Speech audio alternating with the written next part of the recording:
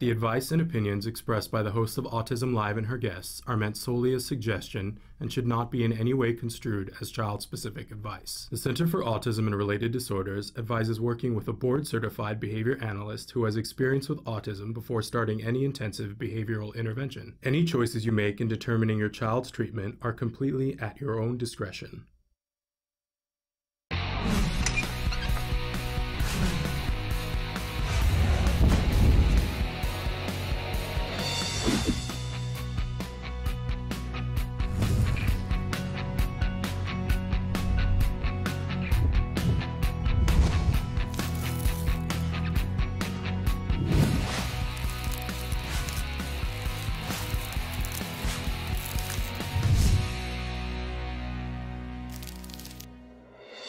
Good morning and welcome to Autism Live. I'm Shannon Penrod. Slightly less voice this morning than normal, but we're here and we're getting it done, right? Sorry that we're coming to you a little bit late, but that's okay. We got a big, big show for you planned this morning. We're coming to you live from the Warner Center in Woodland Hills, California. This is the home for Autism Live. It is also the home for the Center for Autism and Related Disorders. And uh, can I just take one second to say that um, I know that we talk a little bit about CARD here on the show, um, and CARD gives us the space to do the show. They are the underwriters for the show. But I want to say, for my part, that I would be here talking about CARD even if that weren't true. Um, I, I think that they are the best ABA provider in the world. Um, that's my opinion, and I like to be forthcoming with you about that. But that is my opinion from firsthand knowledge from having my son have five years of therapy at CARD. And that is why I am such a big cheerleader about CARD and what happens at CARD. Because if you haven't heard this from me before, let me say this during the holiday season I got my child back because of CARD. And I know I'm not the only one. I know that there are more and more of us that have that to say and are so grateful. And I don't think there's a mom that I've heard say that. And believe me, I've heard hundreds of moms say that. I got my child back because of card. We none of us can say it without a crack in our voice, right? And a tear in our eye because it's no small thing. In fact, it's the biggest thing in the world. But that is why I come in here. That is why I take the time to sit and talk with you guys and why I bring up card. I know that some of you are in places where you can't get card, and I know that there are other great ABA providers that are out there. Uh, but I will say if you have the choice, get card. But there are other ABA providers out there, and it is why I'm such a champion for you getting um, good ABA services in your life.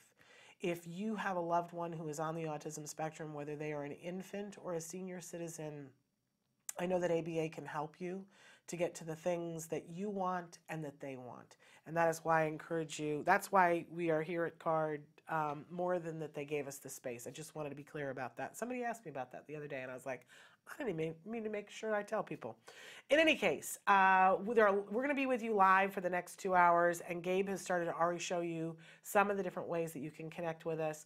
I do want to remind you that our homepage is still autism-live.com, but we do have a new website in beta.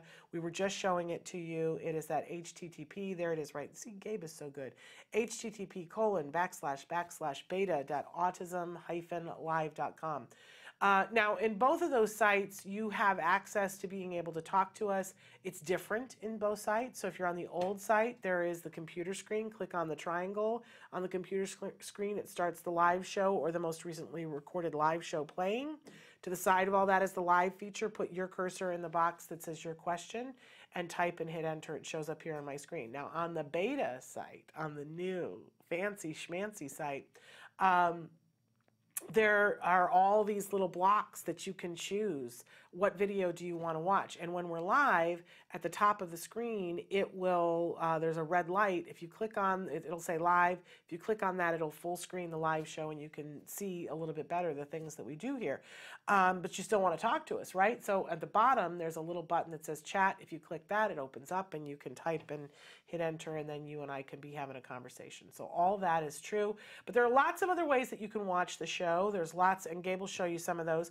Lots of other ways that you can connect with us on Facebook, on YouTube, on Twitter, on Periscope, you know, you name it. We have our own Roku channel. Um, lots of different ways that you can connect with us. We try to make ourselves available wherever people will look. Um, and we're free on all of those things. We're a free download on iTunes. I want you to know that costs us money and we but we want you to have it we want you to have the information and share the information because i believe and know that there's somebody out there that needs it.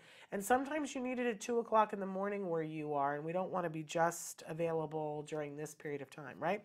We're down to the last three shows of the the year so we've got a big show for you planned today. I do uh, like to start our Thursday mornings with something we fondly refer to as the jargon of the day. Uh, this is when we take on one word, one phrase, one acronym. We try to figure out just what in the hey nani nani are these people, these experts talking about. So today's jargon term, I kind of changed it because um, I had a phone call with mom yesterday, and I thought, oh gosh, you know, even though we have Bonnie on the show, there's still so much that we need to cycle back over because parents, you know, you tend to, there's so much going on. You listen to what's happening in the moment and you do what you need to do in the moment and you hear other things. I remember when people were talking about the teen years when my son was three, and I was like, yeah, I'm not there. Uh, we'll talk about the teen thing when I get there, and then you blink and you're there, right? So uh, every year, more parents go off to school and more parents have problems. And I forget that we need to cycle through some of the education terms more on a regular basis. So today's a jargon term that we're going to cycle back through is IEP. And I know we talk about this a lot on the show. We throw terms around and anytime there's something that we say on the show that you don't understand, please, you know, take me to task and say, remember, for those of us that are new, you got to explain what these are. So um, the jargon uh, day IEP, what does IEP stand for? IEP stands for individualized education program or plan. In some states they say plan and some they say program, doesn't really matter, but it's an individualized education program or plan. Um, okay, and so that's what it actually translates to. That's the actual definition of it.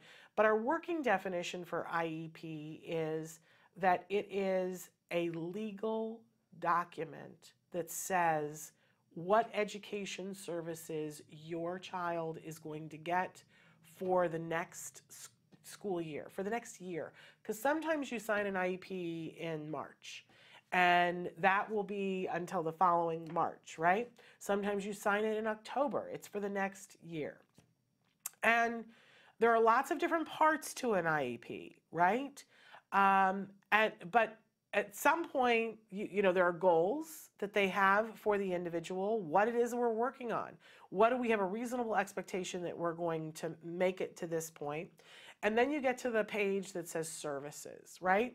There's a lot of other stuff in an IEP, but for a parent that's just starting out, I really think that those are the two things you got to focus on.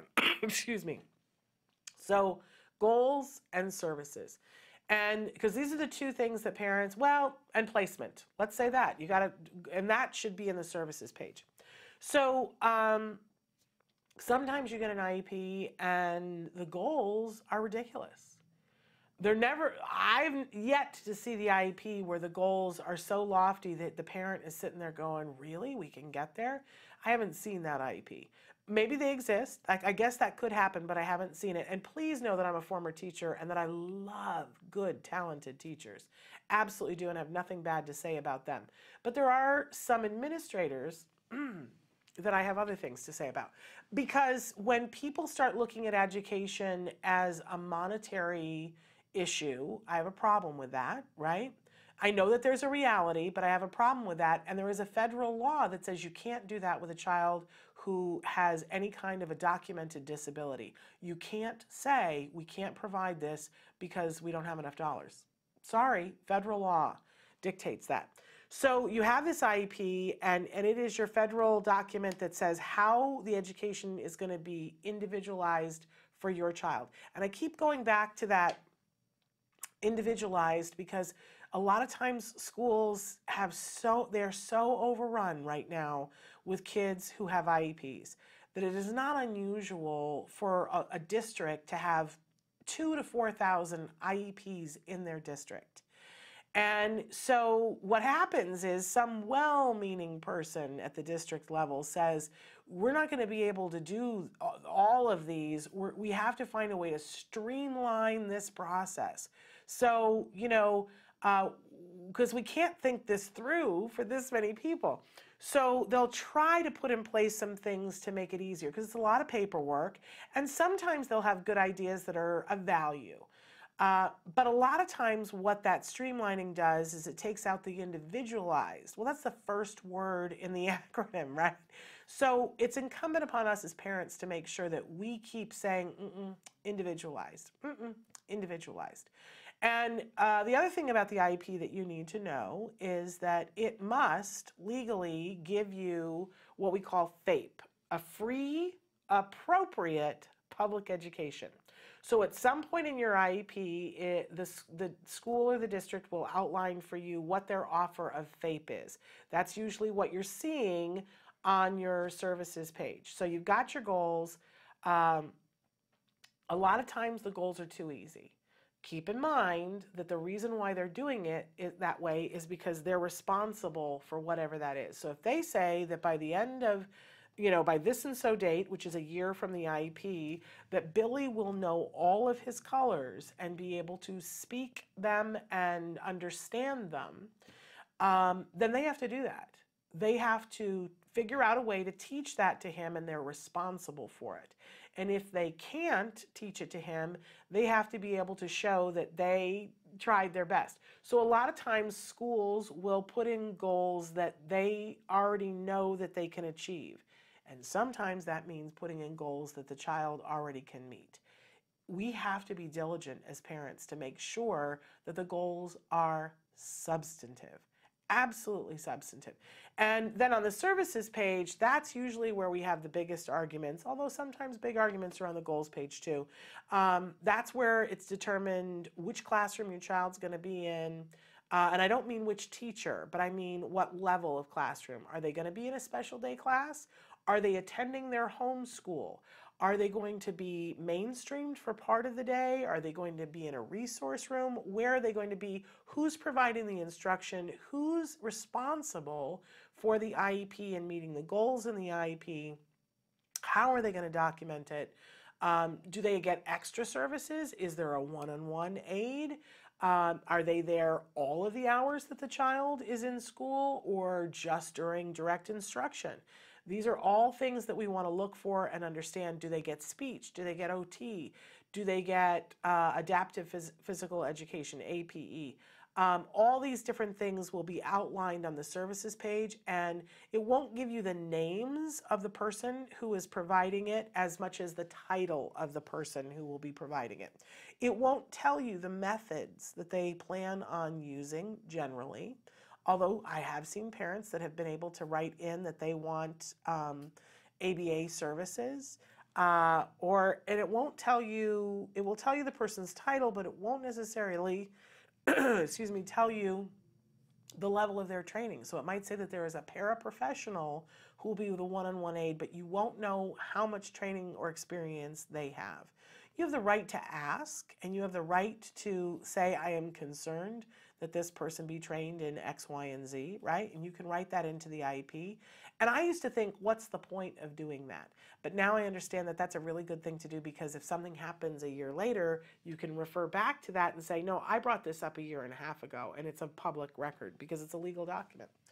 Um, so all of these things are important. And it's the reason why IEP meetings get very, very stressful because if it isn't in the document, it's almost as though it doesn't exist from a legal standpoint. And when you have a really good IEP, by the way, there's another element to it that if your child has uh, behavior issues, challenging behavior, you definitely want to get a BIP, which is a behavior intervention plan. And there's a part on the first page of the IEP that says BIP attached, and you want to see that check that it is attached. When a BIP is attached to an IEP, it is part of the legal document too. And this is where we can save lives. And I don't mean to get melodramatic about it, but if your child has challenging behavior or there is a concern about challenging behavior and there is no BIP attached, and somebody does something stupid, like they pinch the child's ears, which we've covered that story, right? Uh, the substitute teacher who pinched the child's ears as a form of punishment. If it's not you know, I mean, you can still get a lawyer and you can still argue that it's abuse, but if it's not, it, what makes it super easy, if it's written into the BIP and the BIP is attached to the IEP, if anything that is not written on the BIP is is out of compliance. And legally, those are the magic words. You're out of compliance with the school. So look over your IEP, know where your IEP is. I suggest getting a sheet protector that has a magnet on the back and sticking it to the side of your refrigerator so you know where it is at all times. Um, and making copies of it for everybody who's on your child's team, including anybody who interacts with your child the bus driver, the lunch lady, you know what I'm saying? But we have to be experts in this as parents first and foremost. So, IEP individualized education plan or program.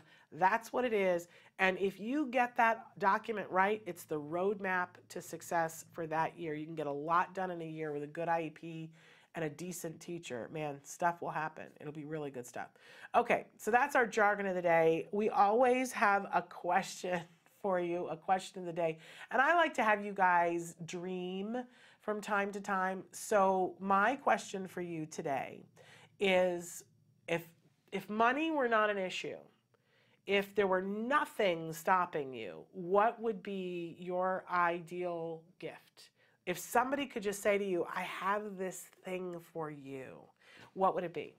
What would it be? I would love it if you would write in on Facebook um, and YouTube and tell us what would your ideal gift be. No holds barred. I'm I'm looking. I'm doing research for a reason. So please write in and tell us what your ideal gift would be.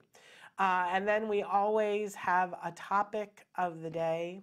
And our topic of the week for this week is making progress. Making progress. Because this is the time of year when a lot of stuff gets thrown out the window. It's the last two weeks of the year. Not going to start the diet now, right? Because I'm going to start the diet on January 1st. It's the last two weeks of the year, so we should cancel therapy. It's the last, you know, it's the holidays, so we should cancel therapy. It's, you know, I'm not going to start this new project now because of whatever. So we've got a little bit of time in today's show because unfortunately we don't have Bonnie Yates today. So I'm going to take this on for you and for me because I need to hear this as well. And you know what they say that, you know, the way to really learn something is to teach it. So we're going to take on this whole idea of making progress this morning and how we can get so much done in the last two weeks of this year that it'll make our heads spin. Okay? We're really going to take that on. But we got a big, big show for you this morning. I'm really excited because in just a few minutes, we've got Candace Pogge is going to be with us. She's your expert of the day. Um, she's been working at Card for a really long time. I can remember meeting Candace. She's a wonderful, wonderful person and practitioner. So she's going to be answering some of your questions. She's got a new role at Card that I didn't even know about, so I can't wait for her to tell us about that. Then we're going to have some time during the show that we're going to talk about making progress. And then um, in the second hour, we've got an autism dad that I know that you guys are going to love. He works in the radio industry locally here, but he uh, wrote a song for his son that's very special and moving. And so we're going to talk with him. Anytime we can talk to a dad. Wasn't it great yesterday? Did you guys get to see the interview with Kurt and Anna uh, Wagner about the Wagner boys? Oh my gosh, if you didn't get to see that, I hope you'll go back and look at it. We're a little bit behind on putting up our highlight videos. We're a little bit behind on everything. We had our sensitive Santa on Saturday, and I'm going to talk a little bit about that too. But um, you know, we're we're trying to get to the end of the year too, and we've had so much going on. Good stuff though. Uh, we're not laying around uh, waiting for things to come. We've been making things happen, moving and shaking. Anyway, I'm late. We got to take a break, and then we're going to be back with Candace Pogge answering your questions. So stick with us. Hey, I'm Candace Cameron Bure. Tom Bergeron. You're watching Autism Live. And you're watching Autism Live. And you're watching Autism Live. You're watching Autism Live.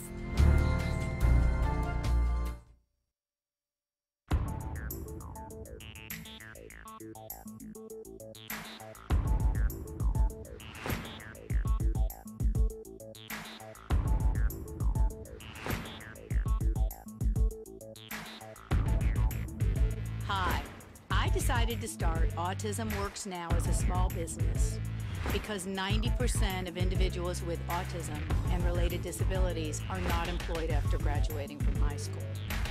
Our mission at Autism Works Now is to create job opportunities for spectrum youth and kids through awareness and education.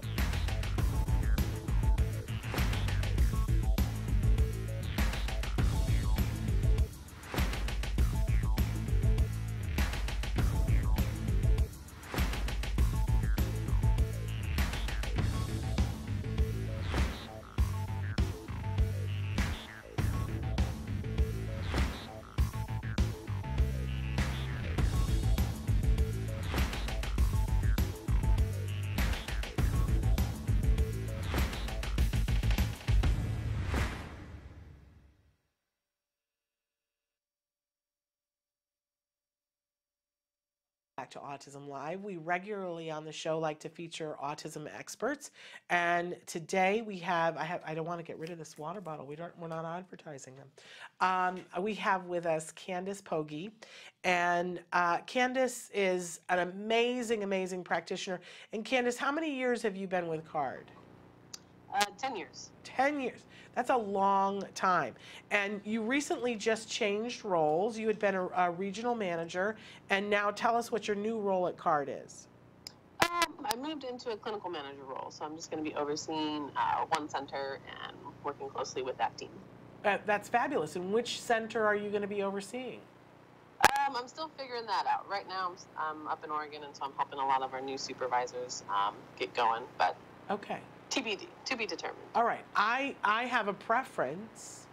Uh, so I'm sure you do too. But let's compare notes later. I, I have a particular okay. center that I would like for you to be at, but um, for very specific reasons. But anyway, um, so Candace, we had some questions for you. And I, I swear I have them here. I had them a second ago, and then I don't know what I did with them. Um, uh, yeah. You have the questions too, though, right? Yes. I, apparently, I didn't pick up the piece of paper I thought I did, but I don't have the questions in front of me. So I'm going to ask you to read the questions because I am ill prepared. I have the wrong pieces of paper. so what was no the first worries. question I sent you? Um, the first question was, is it too late to start a child on ABA if they are nine and nonverbal? Okay. Um, and I think it's never too late to start ABA. Um, there's always something, um, usually multiple things that we can help individuals and their families with. Um, how old the individual is and where their needs are will, will dictate the type of ABA program that they receive. For a nine year old that is nonverbal, we'd most likely be looking at a focus program for them that will focus on developing a functional communication system, independence and day to day life skills. Um, this would likely include leisure and play skills, any missing feeding and toileting skills, um, and social skills to start, along with um, addressing any behavioral concerns.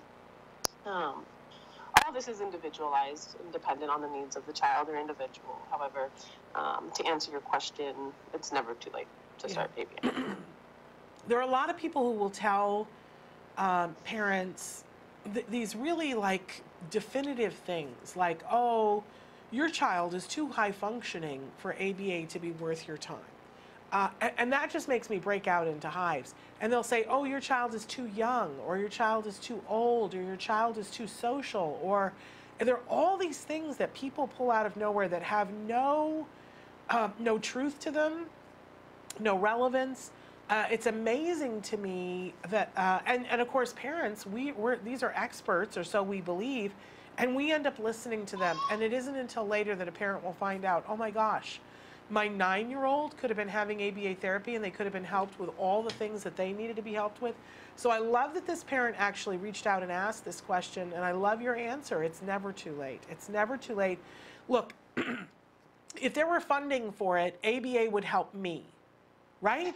I mean, this is the truth, right? If there if there were funding uh, that I could get ABA therapy It would help me so that I would have had, they would have worked on the executive function skills that I needed to have to have the right piece of paper here on the desk, and then my life would have been improved.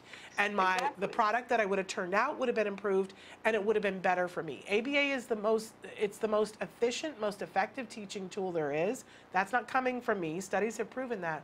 So there is no age at which ABA is no longer useful to you, to you and there is no ability at which ABA is no longer useful to you. So when people start saying to you things like, "Oh, your child is too fill in the blank for ABA," I think they're saying, "I don't think you that somebody wants to pay for that." And I would let your funding source decide that. And then I wouldn't let your funding source decide that. I would tell your funding source that your child needs it, right, Candace? Anyway, That's right. so uh, what was the second question we had? Okay. Um, oh, sorry, I lost it. One second. Got distracted.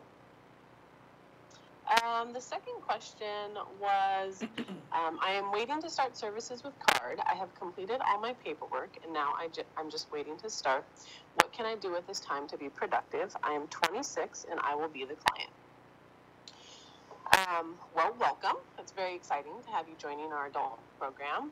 Um, while it shouldn't take very long for you to get started at your local center, in the interim, I would recommend coming up or trying to come up with a list of priorities that um, you would like to discuss at your intake appointment.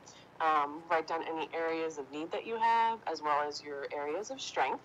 All of this will be very helpful during your initial meeting with the intake clinician.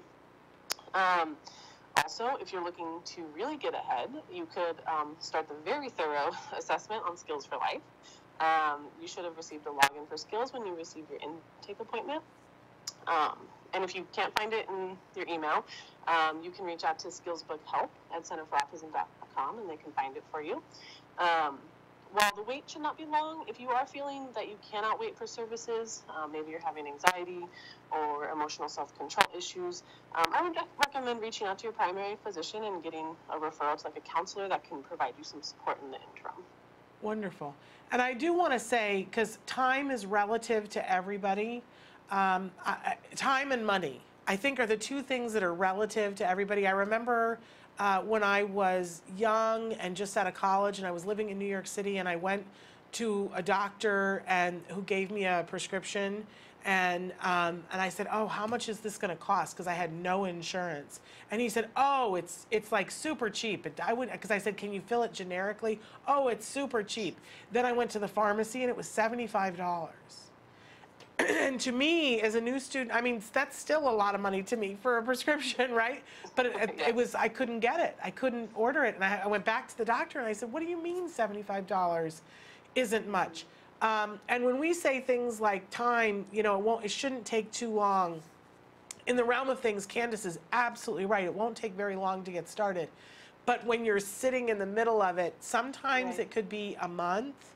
In extreme cases where there's funding issues, it could be as much as three months to get started. Card tries really hard for it to never be that, but that three months can feel like an eternity if that happens to you.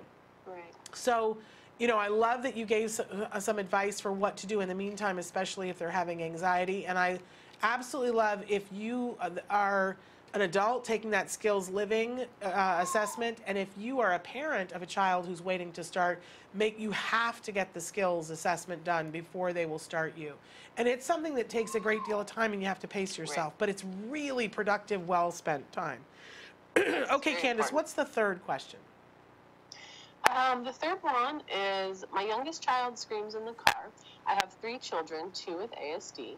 I feel so bad for the one who isn't. It's never about her. What can I do to stop the screaming? So, there are a few things to think about in this situation. Um, if you are receiving services, I would absolutely consult with your case supervisor on this issue. This is something they can help you with. Um, it can help you develop a reinforcement system and an intervention for your children that are struggling with being in the car. If you are not in services yet, um, I would recommend trying to identify the why. Why is your child screaming in the car? Do they want your attention? Do they want specific music? Did they want to continue engaging in what they were doing prior to getting in the car? Um, do they only want you to go down specific streets? Do they struggle with transitions in general to where getting in the car is an uncertainty for them and causes them to be upset? Um, there are lots of reasons that this could be, which is why it's kind of hard to make a recommendation without seeing the situation firsthand. Um, but my initial thought would be to develop an activity schedule for the child in question um, that would outline the flow of transition surrounding the car. For example, having a picture of whichever activity they were doing prior to needing to leave. Um, then maybe a picture of shoes and jacket, um, then a picture of the car, and then a picture of where you were going to. And having this available to the child throughout all of these transitions so they can see it. Um, another idea would be to develop a reinforcement system for appropriate behavior in the car.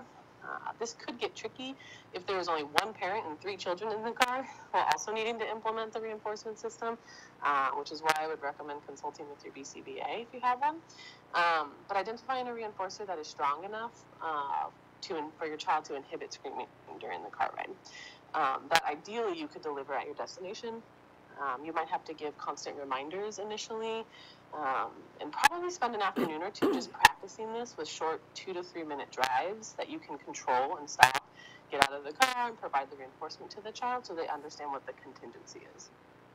Um, lastly, in regards to your child that is not on the autism spectrum, I would look at having a special reinforcement system in place just for her that rewards her for being patient and understanding with her siblings. Um, that way, she's getting um, attention from you and is not left out. I would also encourage have, having her be a part of picking out the reinforcer, um, so that way you know it's something that she really would like. Um, and also, um, I would try to plan a special activity for you to do uh, with her, uh, maybe once a week or once every other week. I know schedules are usually maxed for our parents. Um, but that way, it's something that just you and her are doing, and she gets to have all of your attention. Um, doing something like that will help her feel special, even though you have to divert your attention to her siblings a lot of the time all great advice, Candace. Is it's one of the reasons why I was excited to have you on the show. I know you have good answers.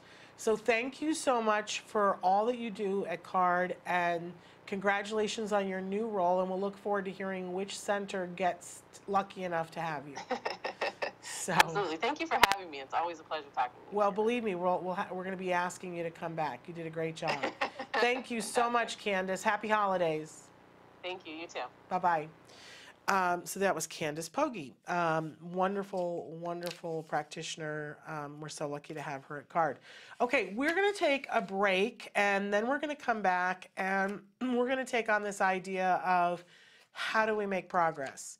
Um, I've got a video that's coming out a little bit later on today that I want to talk with you guys about, so stick with us. Do you provide care services to someone with autism? Recently, more and more children are being diagnosed with the condition and getting the support they need as awareness grows. But what happens to these children as they grow up? It's estimated that over half a million youth with autism will turn 18 in the next decade, and they'll be faced with a very difficult reality. As children with autism grow up, their services start to disappear or become very difficult to access. Things like medical care, mental health counseling, vocational training, and more all services that are still desperately needed. The loss of support that youth with autism face as they grow up is so severe that it's referred to in the autism community as falling off a cliff. Adults with autism need the same level of support they had as children to avoid falling off the services cliff. Introducing Skills Living, the web based software designed specifically to help transitioning youth and adults with autism so they can avoid the cliff and instead fly to success. With Skills Living, help your learner with autism develop the skills they need in all the critical areas of adult life, including self control, planning, and problem solving, effective communication, performing life skill tasks for independent living, acquiring and maintaining employment or other meaningful activities, developing and maintaining social skills and relationships, accessing transportation and public services and being safe. Skills Living includes a comprehensive assessment, a data collection mobile app, behavior intervention plan builder, and automatic progress reporting. It also provides a complete curriculum addressing 16 key areas spanning the entire range of functioning adulthood.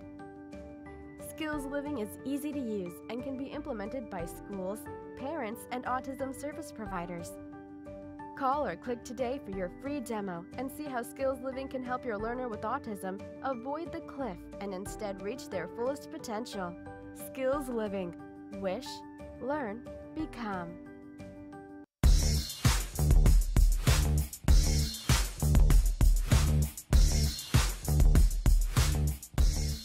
parent to parent token economies are a great way to get to good behavior with your child. So, first of all, let's talk about what is a token economy. It's just a visual representation of reinforcement or a reward that's going to come later on for behavior that you've done now. So I've got a couple examples here of uh, token economies that I want to show you. But one of the most important things to remember with a token economy is that it's essential that whatever the child is working for be meaningful to them. So here, this is a two-part token economy. I've got a list of things for the child to pick from to pick what they want to work for. So the child would pick off the one they want, put it on their other token economy, and you can see it says, I'm working for a play date. What a great thing to work for. And as this child progresses through their day at school, every time they do a task and they do a good job, they're going to get a token to put on this token economy. And we've got a rule in place for them that says maybe you have to get three tokens in order to get that reward, which today is a play date. And as the child gets better, we're going to make it harder and harder. Maybe next week it's going to be four tokens to get the play date. This is another token economy here. This is a task completion token economy, so every time the child completes a task that there's a picture of, they can peel off a token and put it on to demonstrate that they have completed that task. Again, it's essential that they get a really wonderful, meaningful reward for having gotten these tokens. Using a token economy can be much simpler than this too because you can download them to put a free app on any one of your devices. Right here on my phone, I've got a free app Easy Kid tokens. And when my child does a task and completes it, and I, he can specify what the stickers are, in this case, it is a ladybug. And when he gets three of them, then he's going to get his reward. This is a really simple way to take something with you when you're going on an outing and make sure that your child is staying on task and getting rewarded for the things that they do. It leads to good behavior. One of the most frightening things there is is when your child wanders away or elopes. Welcome back to Autism Live. And um, you saw there a video, and Gabe was just asking me how long ago we made that video. So that video is like four and a half years old. Um, yesterday, I made a new video. We haven't been making so many of those parent to parents, but I made a video that is a parent to parent, although without all the you know exciting graphics in the beginning. Um, because it's super duper important to me that we get the word out this holiday season. It's come to my attention that I keep talking to parents and I keep hearing them say the same thing over and over and over again about, well, we're just going to cancel therapy because we're going to cancel therapy because we need some family time. We're going to cancel therapy because I've got holiday parties to go to, or we're going to cancel therapy because we have to go shopping, or we're going to cancel therapy because I'm just overwhelmed. And, you know, I totally, totally understand that thinking. I totally get it. I don't ever want to make it sound like it's like, what? Why would you think that? Right? No, I totally get it. It's just that it's like your thinking is completely upside down, it makes total sense unless you know some other things. And then once you see it from the other side, you can never go back. It's sort of like the FedEx truck with the the arrow. I, you know, people used to talk about the FedEx truck arrow, and I would say, What are you talking about? I have no idea what you're talking about. And they said, Look at the FedEx logo. Have you ever seen that in the white space of the FedEx logo, it has an arrow? And I was like, what are you talking about? There's no arrow in the FedEx logo. And then once you see it and somebody points it out and shows you exactly where the arrow is, you can never go back. You always see the arrow, right? So I want you to see the arrow about canceling therapy, all right? So you're thinking to yourself, I'm so busy, I have so much to do. And I, believe me, we have a video that's coming out um, about this, but hopefully you'll find it amusing. But you're thinking to yourself, I'm going to cancel sessions because it'll be easier. And and not only will you have more time to do things, but you won't have to pay the copay, so you'll save money, right? Um, and and you're sitting there saying to yourself, all of these things are true, except mm, the first one isn't so true. If you cancel therapy and you don't have the therapist come, that's progress that your child didn't make. And that is probably one of the most important things going on in your life right now, especially if you have a child who's on the autism spectrum and doing ABA therapy. you have given over such a large portion of your life and said we're going to do this thing and it's going to up, upend our lives and it's it's going to be crazy around here for a couple of years but we're going to do this because we want our child to make progress and my point is to you if you're going to do that then let's do it all the way let's not do it halfway right um, and sometimes parents will say it's just one session and whenever I hear that, I, I tell them the story of the mom who called me very upset last fall. She had twin boys that were starting therapy. And she was so upset because it was like the second week of therapy, and she took the twin boys to a center, and they both had scheduled with different therapists. And so she arrived at the center. Everybody was really excited. It was a Saturday morning, and they were going to do, you know, like two sessions. So they were they were going to get like four and a half hours worth of therapy. And the first twin gets there, and his therapist is there, and they're excited to see each other. They're revved, and they start to do therapy. Uh, the other twin, the therapist wasn't there. Uh, it started out the therapist had car trouble and was delayed and couldn't get there. And eventually, the car trouble was so significant that she had to cancel the session and they couldn't find a fill in. All of that took like 20 minutes to sort of sort out to see if they could get a fill in, and they couldn't. So she had to turn to the second twin. These are small boys on the autism spectrum, and he wants to do what his brother is doing, and she says, We got to go home this breaks my heart, right? I, I, just like we and believe me, Card has been trying to do things so that that can never happen to another kiddo. But she says we got to go home. Now he throws a tantrum. I want to stay, right? I, I want to stay. I want to learn, right? And she says we got to go. So she takes him and goes home, and everybody's upset. Everyone's upset, right? Except the first twin is at therapy, and he's getting a therapy session. And over the course of the session, they work on colors. It's one of the things in his program, and he masters the color blue. And once you master something, right, in, in all likelihood, you have it the rest of your life. So the concept of blue, this little boy now completely, he gets, he knows what blue is. He can say that it's blue. Uh, he gets the concept of blue. And they work on eye contact and they, work on a whole bunch of other things.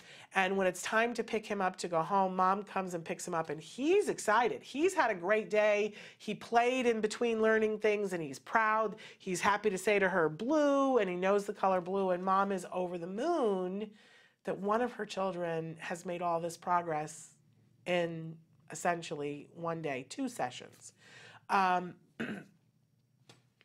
the other child doesn't know blue right? And you think, well, that's okay. He'll go the next time and he'll know blue. It took five sessions before he knew the term blue. So when we say one, because part of it was that, you know, he didn't get the therapy, so he's just, he's like running to have to catch up. And the mom was saying to me, is he going to be behind the rest of his life? And the rest of us don't, a lot of us don't have twins to compare. But I want you to remember this story because one session your child could learn something huge that they have with them for the rest of their lives. So if we're saying to ourselves, I want this holiday season for my child to make the most progress that we can, what can I do to ensure that my child makes the most progress? Don't cancel sessions. I know that other things come up and you go, I want some family time. Great. I'm a huge advocate of spending family time. In fact, I think it's essential that you spend family time. But don't make the mistake of scheduling family time instead of therapy. Do it as part of therapy. So, uh, my message to you this holiday season is whatever you're doing, do it with a therapist. So, what that means is that you got to think a little bit ahead, a little bit ahead, and call your whoever your provider is and say we want to do this. And um, there are special rules for community outings when you're just going out into the community. But the truth of the matter is is that your child has a program which means that they've got a set of lessons that they are specific to them that are very different from another kid on the autism spectrum. But there's a set of lessons that the therapists know that they do with your child at this moment in time until they master them and get more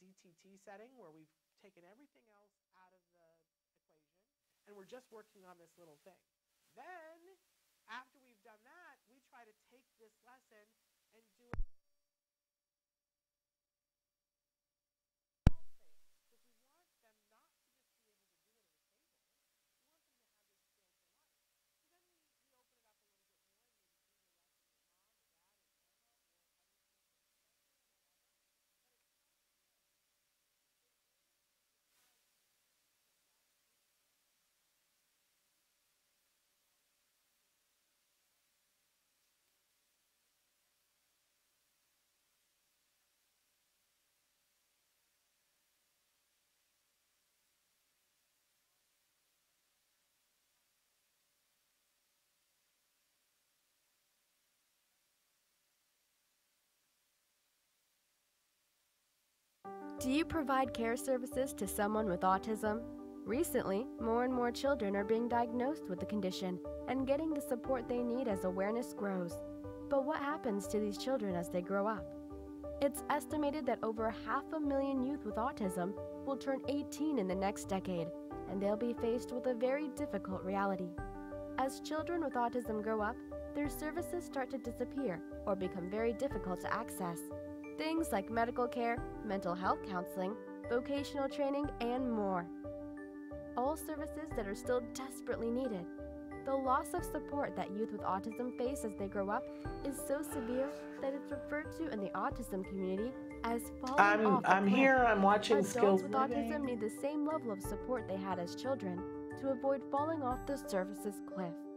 Introducing Skills Living, the web based software designed specifically to help transitioning youth and adults with autism so they can avoid the cliff and instead fly to success. With Skills Living, help your learner with autism develop the skills they need in all the critical areas of adult life, including self control, planning, and problem solving, effective communication, performing life skill tasks for independent living, acquiring and maintaining employment or other meaningful activities, developing and maintaining social skills and relationships, accessing transportation and public services, and being safe. Skills Living includes a comprehensive assessment, a data collection mobile app, behavior intervention plan builder, and automatic progress reporting. It also provides a complete curriculum addressing 16 key areas spanning the entire range of functioning adulthood. Skills Living is easy to use and can be implemented by schools, parents, and autism service providers. Call or click today for your free demo and see how Skills Living can help your learner with autism avoid the cliff and instead reach their fullest potential. Skills Living. Wish, learn, become. Hey, welcome back. So we had a mic issue. That's why we went away abruptly. And if you were watching and you couldn't hear me, that would be why. Um, so what I was saying basically is that whatever you need to do this holiday season, you can do it with a therapist. And it actually, whatever you have to do, will be better for having the therapist there. A lot of people will write in and say, well, but you have to have insurance funding for community outings. It's true that if you're just going out into the community to be in the community, you have to have insurance funding for it. But I'm making the case that whatever it is that you're teaching a child, uh, at some point you need to be able to transfer that into the environment, right? So you don't need to get pre approval for community outings, and I'm not an insurance expert, let me say that. But for instance, if you're working on eye contact and you're working on eye contact at home, or you're working on it on the sidewalk, or you're working at a Target, or you're working at the, in line at the post office, these are uh, all places that you need to work on eye contact. So when you're canceling therapy because you need to go uh, to the post office, you're missing an opportunity. Um, I was saying that many families will say to me, I need family time. But then let's play this out. So you have family time and you schedule it and you cancel therapy and you have family time and you've got five kids in your family and one of them is on the spectrum and you sit down to play board games, which I love as family, right? And your child who's on the spectrum gets bored doesn't really know how to play the game and you're trying to address them. Now, two of the other kids are fighting. Somebody gets frustrated, and before you know it, the whole thing falls apart on you, right? Well, let's rerun this exact same scenario and not cancel therapy. Instead, call your ABA provider and say, hey, can we have the therapist uh, come to our house? uh, we're going to have a family game afternoon and we'd like the, for the therapist to be here. Now, your child probably has programs that are in uh, lessons that are in their program that will lend itself well to working on board games. Now, for some kids, this might be a lesson in winning and losing, right? For other kids, it might be a lesson in taking turns. For other kids, it might be a lesson in cooperative play um, or it could be dealing with sensory issues or answering WH questions. I mean, the list is endless. Pretty much anything that you have in a program can be worked on while playing a board game. Uh, honestly, honestly, smart therapists can do this, right? So now you sit down to play the board game and you've got the therapist with you. So the therapist is, is not only dealing with your child, but is also helping the family to cope. So that when your child bobbles with the, with the rule or something, and the therapist is helping them to figure that out, and Joey kicks uh, you know, them and says, you, you didn't do it right, then the therapist can be saying, let's try that again. And why don't you tell Joey what he needs to do to do it right? And we'll, we'll use our words. You're working in conjunction with the therapist, but the therapist is not only teaching your child, they're teaching the whole family how to make it inclusive with a child who's on the autism spectrum. For those of you who have uh, dads in the family that are working really hard and sometimes aren't as involved in the ABA, and so they're, you know what I'm saying, that sometimes they don't follow through in the way that we would like them to do that, there's no better time than through game time because then the therap- therapist can say, hey, dad, can you ask him the question and, and ask him in this way? And then dad does, and the child responds, and dad goes, look, we were able to do that. Now, dad learned something, and the whole family is having fun. You're actually getting to do the thing that you wanted to do, which is to spend family time but you're really getting it done because everybody is including the person on the spectrum and nobody's having a meltdown. So in that session, your child makes progress, the whole family makes progress. Do you see where I'm coming from? when uh, it used to be that it was much more common that we did things like this that uh, when i think back over the therapy that we had if we hadn't gone to the grocery store oh my gosh that was one of the big places where my son tantrumed was the grocery store and don't kid yourself it got to the point where i didn't want to go grocery shopping now back then we did not have all these wonderful services. If we did, believe me, I became agoraphobic. I would have been agoraphobic sooner, but I had to get food, right? Um, but it was terrible. I used to go at 2 o'clock in the morning to the one grocery store that was open 24 hours a day because my husband would be home with my son, and that was the only time I could shop in peace. And then the therapist started going with us to the grocery store. Now, I would be lying if I said to you it's all hearts and flowers and roses, right? Because sometimes the therapist will ask you to do something and you feel like, oh man, I just feel like, you know, I got to have this young person explaining to me in public how to parent my child. I get it. Man, it used to upset me too, and it wasn't my favorite thing. But can I tell you what it got us? I can go anywhere with my son, absolutely anywhere and I don't have to worry about his behavior. I have not worried about how he would behave in like a decade. Isn't that crazy? And it, there was a time when I thought, I'm never going to be able to go anywhere ever again. But that happened because I was willing to take a therapist with me, and I was willing to be uncomfortable sometimes as I was learning what my child needed we have to forgive ourselves for not knowing everything, and we got to use the best resources we have.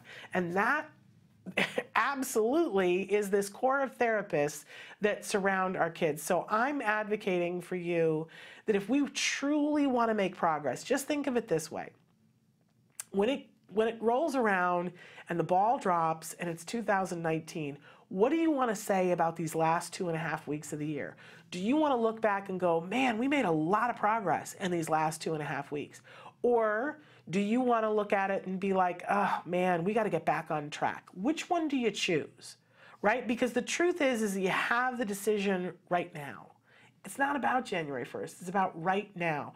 I remember a long time ago, I was at a conference and somebody was describing to me about how, you know, life is not like this. Life is like this, you know, that we have ups and downs and ups and downs and ups and downs. And they said the secret to success is that when you are on an up track, you know, enjoy that. But when when things start to level off and you see that things are going down, try as desperately as you can to, if nothing else, maintain then.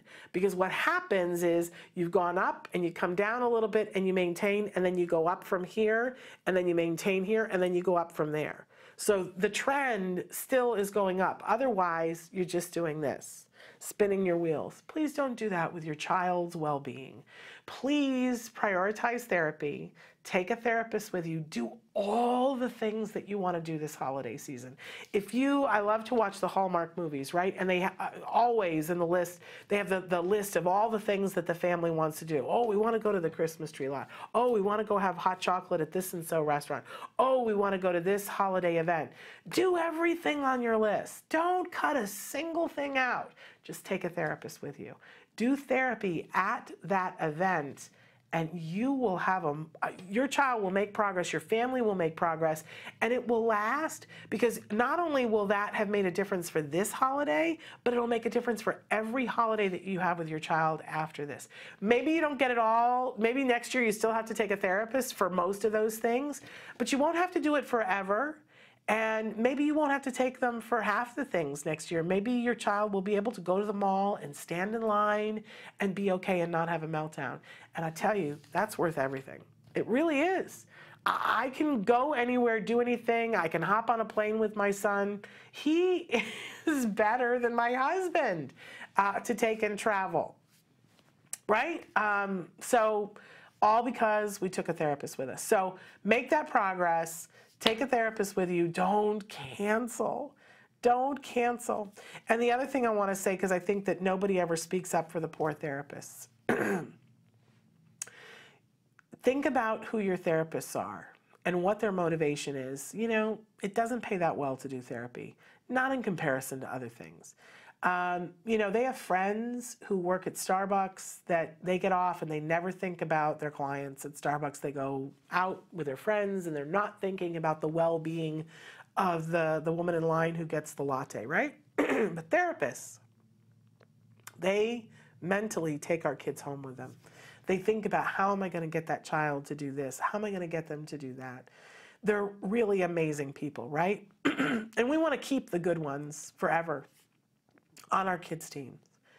But stop and consider from the therapist's point of view when the holidays roll around. They have their schedule. They've made themselves available for this set of time, thinking that they're going to go and work with kiddos and they're going to make progress and that they're going to get paid for it. And I don't know about you, but I, I would imagine that those therapists have plans for that money, especially over the holidays, right? Things that they need to spend it on tuition, gifts for their friends and family and loved ones. Um, so they go to do their therapy, and the therapy sessions get canceled. And that can be so frustrating because then the kids start to regress. It's true. If they don't have the regular amount of therapy, they will start to re- regress. And not only that, the therapist makes less money. The therapist doesn't get paid if they don't do therapy, even if it's you canceling it. Now, most ABA providers will try to find a, another family to that needs therapy, but you know, last minute especially, that can't be done. So we make the therapists checks smaller. And I gotta say, in retrospect, that's a really gritchy thing to do. Please don't cancel on your therapist. It's not good for your kiddos and it's not good for your therapist. Let's all get in the holiday mode, do the holiday events with the therapist, make sure they get their full paycheck, and that your child gets their full, pay, full, full paycheck, which is making progress. It'll be a paycheck for you too. All right, that's have a happy holiday. That's my thing about making progress with that. I don't know what time it is. Everything is a, a but oh, I know what time it is. So here's the deal. We have this fabulous guest who's going to be joining us in just a few minutes, Mark Schaefer. Um, and he is an amazing dad. Um, works in the field of radio, and he wrote a song for his son. So we're going to be talking with him about what it's like being a dad and why he wrote the song and why you should be checking the song out. That's all coming up in a few minutes uh, after these messages. Stick with us.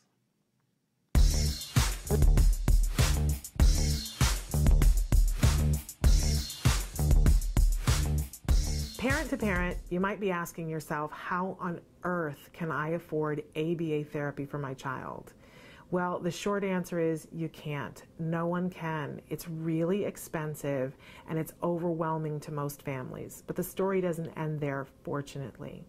The first thing that I want you to think about is tapping insurance resources. So many insurance companies are paying for ABA therapy right now. So that's your first best bet. Make sure and see if your insurance company is providing benefits for ABA therapy and check back often. Now, if you see that you don't have insurance right now for ABA, don't panic. There are still other resources. The next place to go is to your local support groups and ask them what local resources there are. That's a great place to ask for information because often states and even counties have support for ABA. And then beyond that, you might consider applying for grants. There are many fabulous grants out there to help you to get support for your ABA therapy.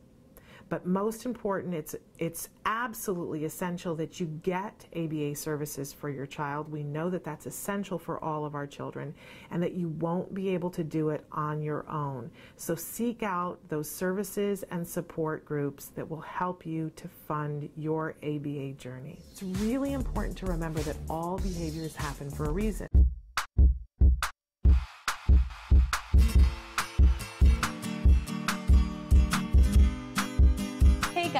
For the month of September, I figured I'd show you guys how to make a task completion chart to help your kids get through the hardest parts of the day. Parents have been writing into our host, Shannon Penrod, the hardest parts of the day are waking up in the morning, after school, and getting ready for bed. Please keep in mind you can always modify the task completion chart to focus on the skills that your family needs most. The template we'll be using today to make the task completion chart you can find at facebook.com slash autismlive. All right, let's get to it. The materials you'll be needing are the template, cardstock, scissors, hole puncher, glue, pipe cleaner, Velcro, and photos or images.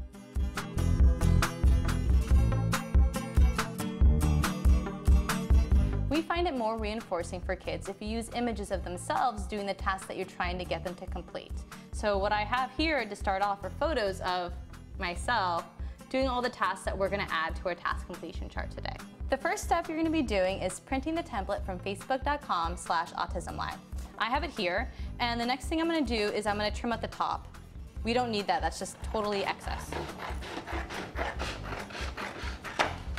Now that I trim my three templates, I'm gonna label each one with a different part of the day that we're focusing on, such as waking up, after school, and getting ready for bed. Now that I've finished labeling the templates with the appropriate time of the day, I'm gonna attach the photos that go with it.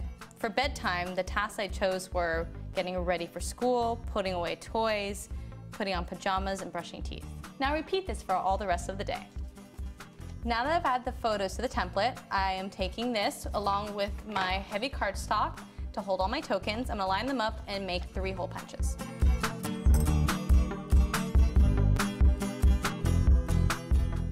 I'm gonna take this pipe cleaner and attach the pages together with it.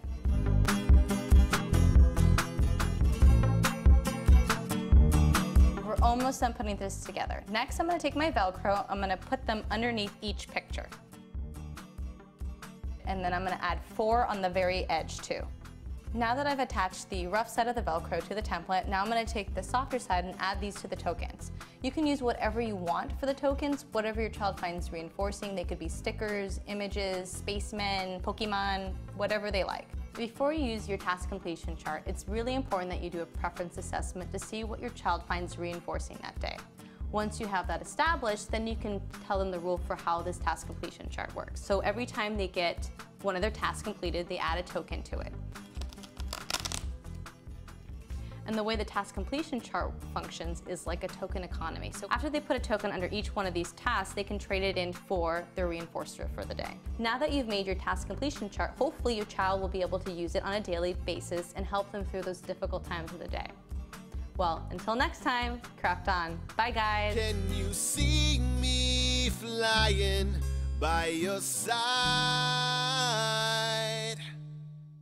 You say we say hi. Let's get let's get wild. Let's get, let's get, let's get wild. Let's get, let's get, let's get wild. Let's get, let's get, let's get wild. Let's get, let's get, let's get wild. Hi, welcome back to Autism Live. I'm Lisa Ackerman. I've got Kristen Selby Gonzalez here with me today, and the feedback overwhelmingly. Oh, chicken nuggets! Probably one of the easiest recipes on the planet. Uh, we know all of our kids love chicken nuggets. Oh, let's talk about corn. GMOs, uh, genetically modified foods, are no bueno for a lot of folks, and we agree. So um, I've actually called the manufacturers to make sure these are GMO-free product. Really simply, what I did with the um, the corn flakes is just the old-fashioned crush away. Um, that's just the easiest way. Maybe you can crush that a little Well, bit for me. something our kids can help us with Yeah. too doing cooking with them. Well, and fine motor Yeah, improvement. absolutely. Boom. Sensory issues. Boom. A lot of people will over season. Uh, they season for adults. So from the standpoint of just putting it in enough flavor. Now that we got our uh, base, our coating in, I'm going to work on how we coat the chicken. Now, Kristen, uh, was Jax ever allergic to eggs? he has been. There's a lot of options with eggs. Don't you know that you can also look at duck eggs? Really? quail eggs, and other types of eggs that even though they look the same in the bowl, they're different on the allergy panel. Let's say you find out you're allergic to every egg on the planet. You can use a little bit of water and arrowroot starch. I've got a, a high grade stainless steel, non Teflon frying pan. I'm using high heat oil, getting all ready to go. So we're just really easily going in and coating the chicken. Now, when I'm flipping these, Lisa, um, do I flip over and over, or do I just cook one side and then the other? You know, I prefer the cook one side because what happens is the good coating that you spent all this time crushing Oh. for me falls off. Gotcha. Bonus. About how long do you cook on each side? About four minutes on each side we will Okay. do it. And I think you're almost there. Yeah, you're good. That you're golden. good. Fantastic. So if you want to take them out, so now that we got the last batch in, let me take you through what these finished babies look like. Like I said, you're going to have some happy families um, out there wanting to eat this. This is so easy. You saw how quickly we got in and done. Just want to remind everyone we really want feedback at Autism Live and want to know what you want to see next. So if you've got an idea, a recipe you want us to convert, um, or to talk about a particular topic, we'd love to hear from you. You could do that at autismlive at gmail.com or Facebook land. We're all on Facebook, facebook.com slash autismlive. And then again, there's already thousands of recipes waiting for your eyeballs to go cruise over on the TACA website. We'll look forward to seeing you next time on Autism Live. Thanks for joining us. You say howdy, we. Let's rowdy, let's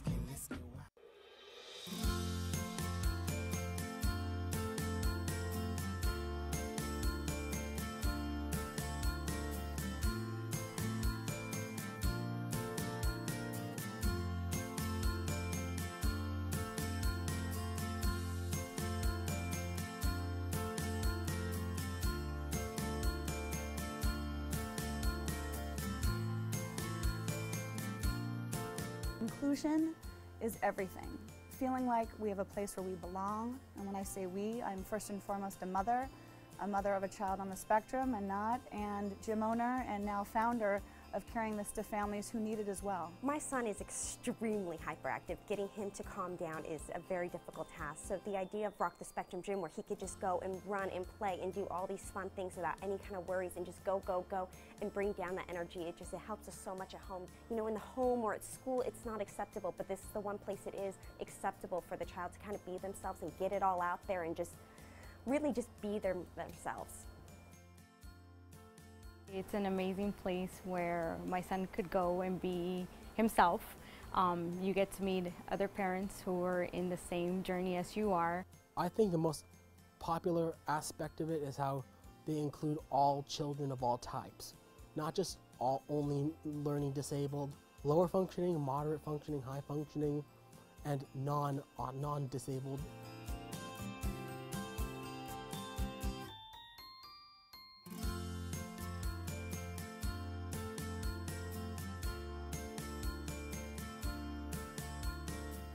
People there are so friendly. Everybody's like family. They always greet you with a smile. There's not one negative thing I could say about any of the employees. They're all absolutely amazing. I think every parent should walk in through those doors and see what an amazing gym it is. Now a diagnosis being one out of six kids are in some way or form affected with sensory processing disorder or autism. That's why We Rock Now is on the rise. People want to be a part of it. People know that they have a community there. They know that they can learn more information about things that they don't know themselves or that they can share, build friendships, and uh, basically get what you get in an OT facility, but it's not $150 an hour. It's 12.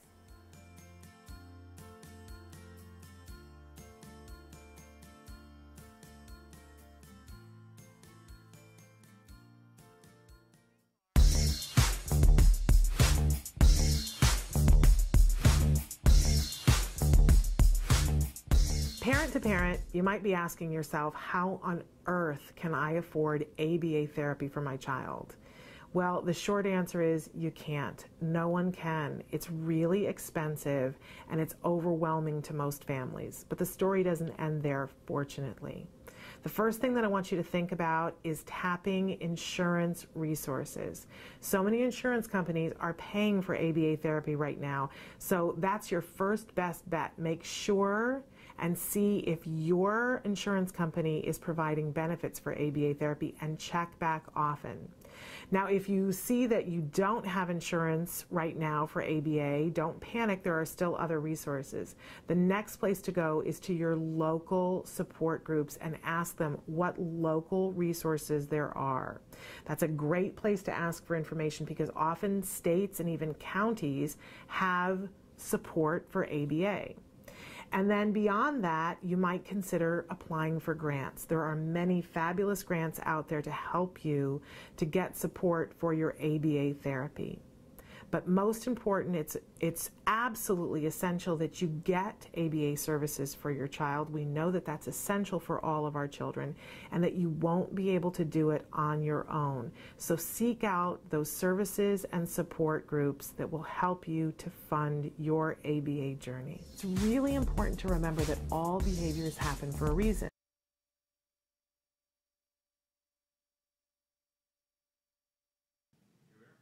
Welcome back to Autism Live. If you watch the show at all, you know that there are certain things that I just love.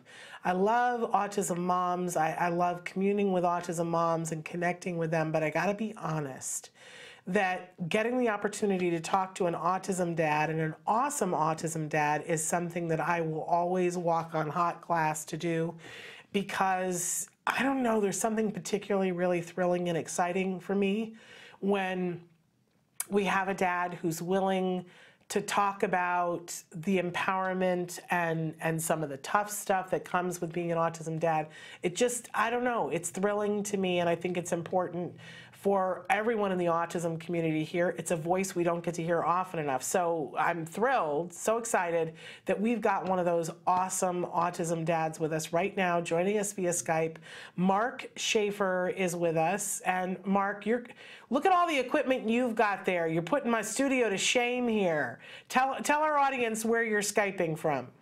Well, actually, um, Shannon, I work at K Wave 107.9, and it's a radio state station in Southern California.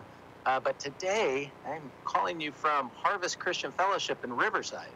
Oh. Because they were, I have a meeting out here, and so it just worked out. I called them up and said, I have to do this important Skype.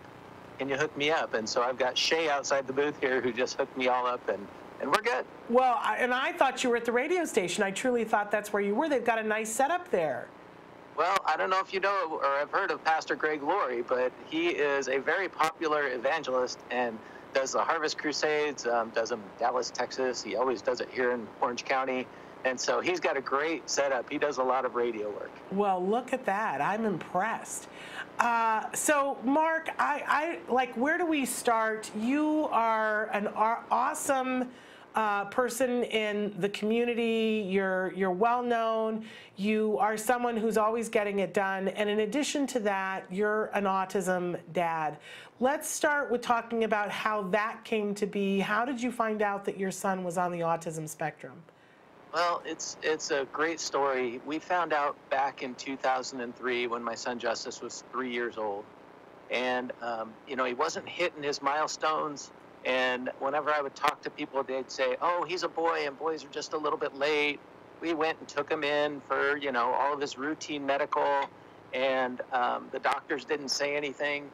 And so I was just like, nope, he'll talk when he talks. And, you know, I don't know why he's not making eye contact or tiptoe walking. I'm not worried about it. And um, one day I went outside and we had a neighbor across the street who was just two weeks younger than my son. And I walked out to go to the store and, and this little boy said to me, he goes, hi, Mark. And I said, hi, Dutchie. And he goes, where are you going? I said, oh, I'm going to the grocery store. And he said, oh, my mommy goes to Safeway. And I go, well, that's where I'm going. And then I got in my car and, you know, said goodbye, got in my car and I drove away and I'm like, wow, justice can say milk, please. Yeah. There might be something wrong here.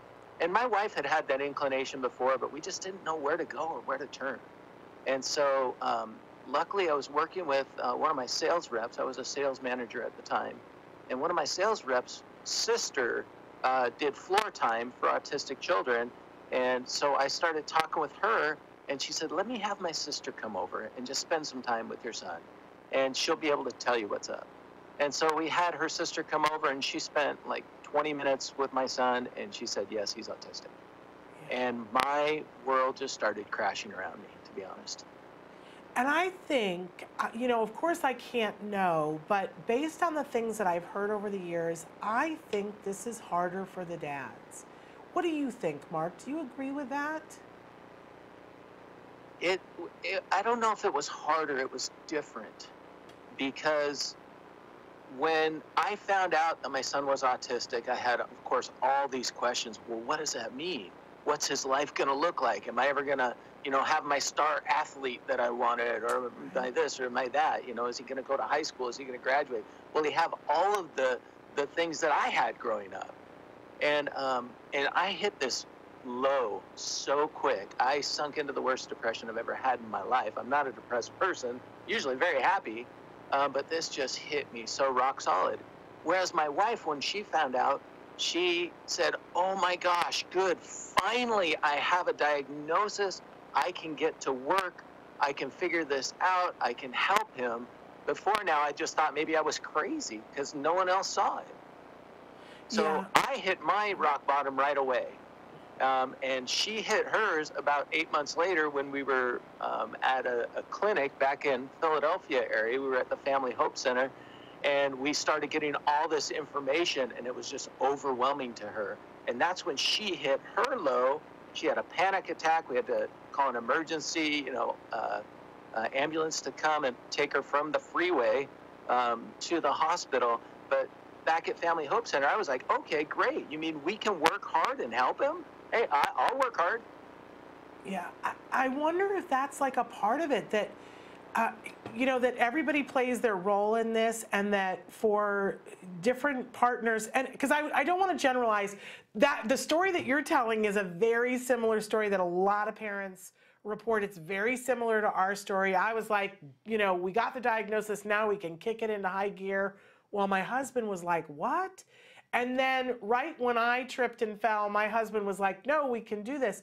But I but and I, and I know that sometimes it's the opposite. Sometimes, you know, the the mom is in the what phase and the dad starts out in motion. But I wonder if that's one of the hallmarks of the families that make it through is that right when when one person is like I I got to sit down for a minute, I can't take this, it's when the other one picks up the charge and says, I'll I'll carry the load for this period of time um, until the other person can come back in. Because, uh, man, I've heard that story so often, and it's typically from the couples who have survived. And you know the statistics. A lot of people don't. What do you think has been the secret of you and your wife making it through?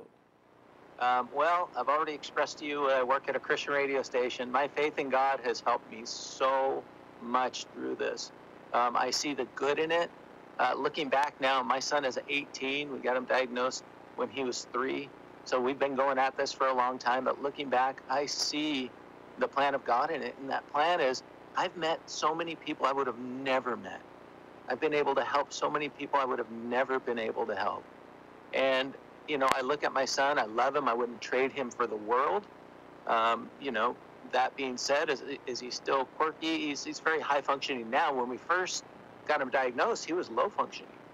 Uh, it was low functioning slash moderate. And now, you know, he's he's high functioning. He's a senior in high school. He's going to graduate on time. Uh, we're blessed. So a big part of that was our mutual faith, um, a lot of prayer, a lot of friends praying. Uh, but other than that, really just working together. When your wife says, you know, we need to spend $14,000 on this hyperbaric oxygen chamber, you look at her sideways and you go, is this going to help our son? Yes, then let's do it. Well, and you know, we're going being able to be that way. we're going to talk about some of the different things, choices that you guys made um, that helped you to get where you are, um, and how you got to that place from being so depressed to being totally in faith and acceptance. We're going to talk about all that, but first we're going to take a short break, and then we're going to come back to continue the story with this amazing autism dad. Stick with us. Hey, I'm Candace Cameron Bure. Tom Bergeron. You're watching Autism Live. And you're watching Autism Live. And you're watching Autism Live. You're watching Autism Live.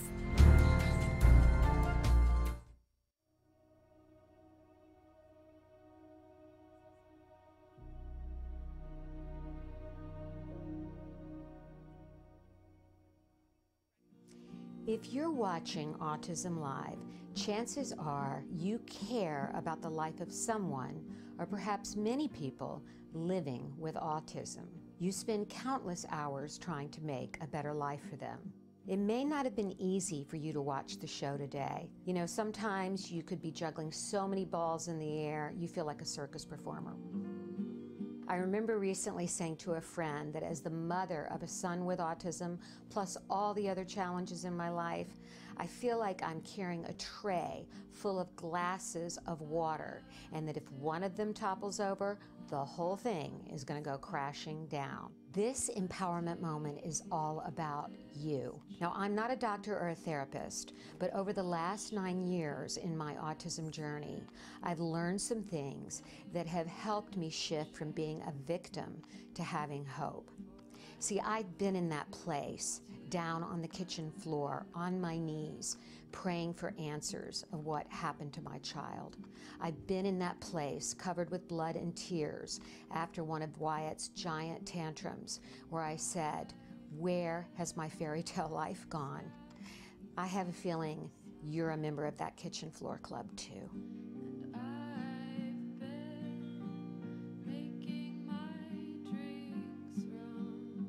It's been a process, but I've come from that place of being a victim to becoming an advocate for my son Wyatt and for many others as the executive director of ACT Today, or Autism Care and Treatment Today. Let's start with reframing the way you think about yourself and your child. I want you to say after me, I'm an activist. That's right. I'm an activist because just by watching this program, you are taking positive steps to make the world a better place for your child or someone else living with autism. You are a positive force of action in the world. I want you to start thinking of your so called disability as an opportunity because it's within our challenges that our greatness is revealed. That's where we find our courage and resiliency. And parenting a child with autism is one of the greatest challenges a parent can face. You have the choice to see this as a journey of self discovery. Some people take expeditions to climb Mount Everest to see what they're made of.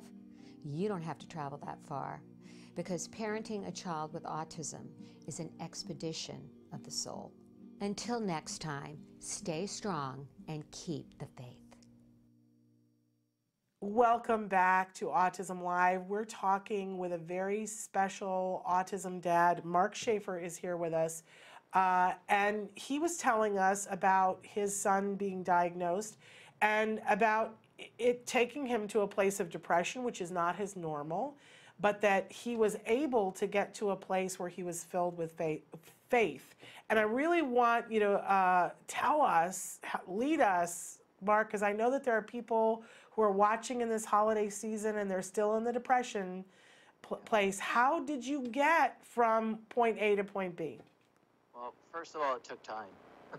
you know, I had to really, I, I had to grieve the loss of my son. I had to grieve the loss of something. And so I was very hurt. And there was a lot of questions. And, and one of the things that was so significant that I remember is the blame game, where I would blame my wife that it was because of something in her past. And she would blame me because there was something in my family line. And, and we went back and forth with that for probably like six or seven months. Like, well, it, it wasn't because of me. It must have been because of you. And, you know, and, and that is just such a dead trail. That is, don't even go down that trail. Um, because the reason your son or daughter is autistic is because your son or daughter is autistic. We, we don't have the answer for that. But what you do have is your same beautiful child. I remember going to see our doctor, and he said, Look, this therapy will help your son. But know this when you walk out of here, you have the same son. So he's not going to totally change. And so you have the child that you have. God has given you that child. And now you've just got to figure him out. And that's what I always say about my son Justice is he's my enigma. He's my big question mark. How do I figure him out? And that's one of those things that it's actually been become kind of fun for me. Um, but it wasn't at first. So you asked, how did I come out of it? It took time and it took a little bit of hope. And it was interesting because at the time where we lived, we had some neighbors across the street whose son was diagnosed recently with autism. So they put us in touch with their friends. And their friends told us about a clinic back in Blue Bell, Pennsylvania. It's called the Family Hope Center. And um, you know what? That bit of hope really helped. We were on a plane within the next few months and we went out there. And that's when my wife, like I said, that's when she kind of crashed and hit her depression. But when I got out there, I was like, okay, we can do this, this, this. We can help him. Because my biggest question when my son was diagnosed is, what's he going to look like when he's a teenager? Yeah. And everyone said, we don't know. Yeah. And I said, well, you have to know. There's other autistic kids. But, you know, one of the best quotes is when you've met an autistic kid, you've met one autistic kid. They're so different. And that's why certain therapies will work on some and certain won't on others. And I always like to say, you know, we've gone the full gamut. A through F worked, they were awesome. But you know what? G through Y didn't work. And we spent a lot of money, but they didn't work. And I still haven't discovered what Z is. So that's why we say it that way. I love that. So let's talk about some of the things that worked for you guys. Uh, so, what did you do that was helpful? Well, the first thing we did was we found out about the uh, CFGF diet or GFCF, yeah, gluten-free, casein-free diet. And you know, some people were singing its praises, and other people were saying that doesn't work. Well, we decided to give it a try, and we got some really good coaching on that. Um, and we found that out through Dan, by the way. Defeat Autism Now is another organization that helped us greatly at the beginning. We found a Dan doctor, um, and we got some coaching on that. And my wife was so rigorous. I mean, we had two toasters in the house, so there wouldn't be con, you know, any uh, oh, what do you call it? The ca- cross contamination. Cross yeah. contamination, yeah. We had a set of pans that we would cook in that were gluten casein free, and a set of pans that weren't. So we took it to the extreme. My wife back then, things weren't labeled, and my wife would call the companies and say, "Is there any chance there's any gluten in this?" And so the first thing we did was we took them off of dairy. And I remember out being out front with the neighbor playing, um, and this was like maybe three or four days after. And he said, Hey, Mark, did you put Justice on a new medication or something? I'm all, No. I go, Why? And he said, Well, he just seems clear. He seems really present, uh, not typical for him. And I go, You know what? All we did was take him off of milk. Yeah. And I thought, wow, there really is something to this because when you first hear about diet, you think, well, how can that have anything to do with his autism? Right. And we saw huge changes. So my wife decided, let's take him off of gluten. And when she did, uh, he didn't eat for two days. He was uh, like a opiate act- addict coming off of heroin. Yeah. His eyes were just black, is how she described them. And then after two days, that kid ate anything we put in front of him. And we put vegetables in front of him, he'd eat them. We put whatever. Before that, all he wanted was pizza, goldfish crackers, you know, anything that had the gluten and the casein in it, Yeah. because he was getting that opiate high from it. And so um, that really helped him. Uh, so the GFCF diet, I've always said, was the best thing we ever did for him. Um, but actually, I've kind of amended that because the best thing we ever did was had a little brother. Um, because his little brother Jordan will not let him just walk away. Yeah. He's in his face. But the gluten-free, casein-free diet is the first therapy-driven thing that we did that was great for him. And how much is the age difference between the boys? Five and a half years. Okay. Because a lot of people, you know, it's that thing about right about when their child is getting diagnosed, they're considering having another child, and many Mm-hmm. people back away from it and say, you know, I don't, I don't know if this is going to be a great thing. I and yet I hear from so many parents who went ahead and had the second child that it's one of the best things that they did for their child. Oh, Talk we about why, that why that is. thing. Oh, we went through the same thing. It took me that long to talk my wife into having another child um, because we were so, you know, she was just terrified we'd have another autistic child, and and we loved our son Justice, but you know, another one that's so much work, and we knew families that had a few. Yeah. And so she took all these precautions ahead of time. You know, anything that had any trace of mercury in it, uh, like her contact solution, she stopped using underarm antiperspirant. She went and found a healthier one. Uh, she she went gluten free, casein free for a year before you know she conceived. Uh, so she took all these precautions, and we don't know if any of those helped or not, to be honest. But it sure made her feel good about it. And when our son was born, um, uh, he's typical and neurotypical and you know he had some speech delays and stuff too but not on the spectrum and and man i'm telling you he is the best thing that we ever did for my older son I love that. And for anybody who's listening to the prep that his wife did and thinking, oh, that might sound a little like, mm, I don't know, we've featured many times here on the show Dr. David Berger. Uh, there is a study, it's called the P2I study, that talks specifically about can you reduce uh, a mom's risk of having a, another child with autism through controlling environment. And they have found that you absolutely can. Uh, the, the studies are, are very clear that doing just exactly the things that your wife was doing, and depending on, excuse me, what is what's going on in the mom's uh, immune system and what's going on in their environment, there are other specific things they can do specific to the person that they can reduce greatly the risk of having another child with autism. So I I think that what your wife did was ahead of her time, uh, and and Yeah. she was definitely onto something.